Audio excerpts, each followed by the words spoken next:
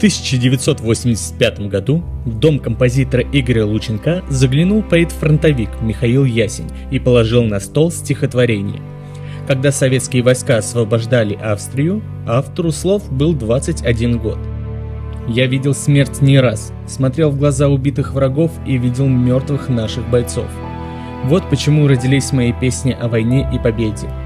За почти полвека творческой деятельности Михаил Ясень сочинил на русском и белорусском языках около сотни стихов о войне, многие из которых стали песнями.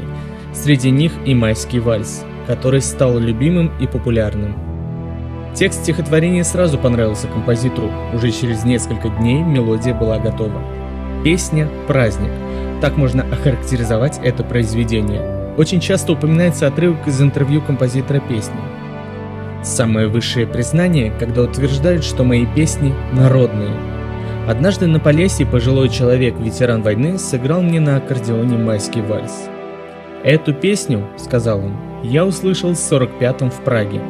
Я уточнил, что песня написана мною в 85-м, но он стал настаивать. Песня народная. И это для меня было наивысшей похвалой.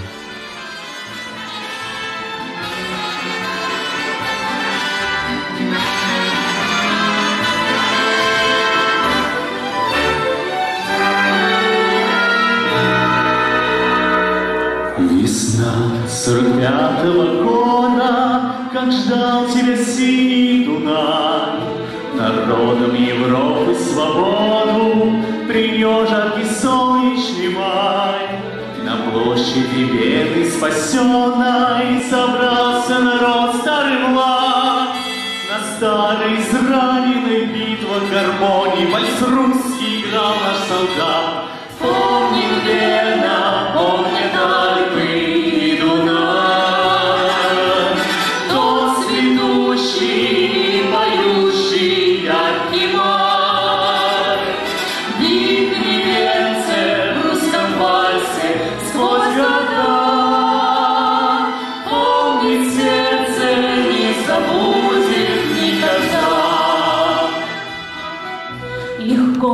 la vie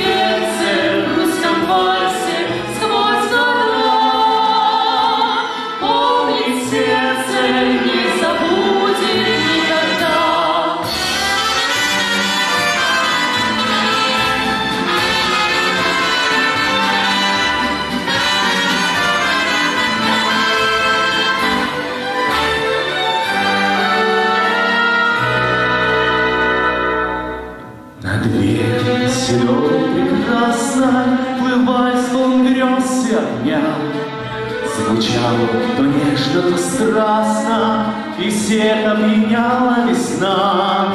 Весна сорок пятого года